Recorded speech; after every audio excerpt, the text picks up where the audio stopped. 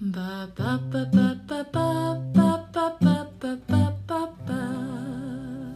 Hi, this is Cassie Bringhurst from Harmony Music Therapy, and today we are going to talk about encouraging vocalizations.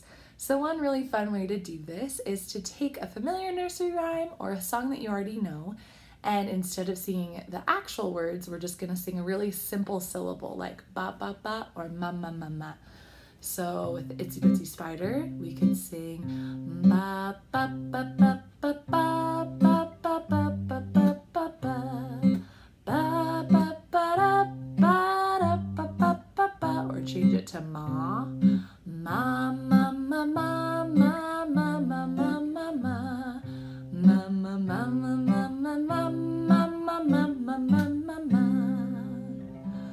so that's just one really simple way that you can encourage vocalizations through changing the actual lyrics of the song for a simple syllable like ba or ma.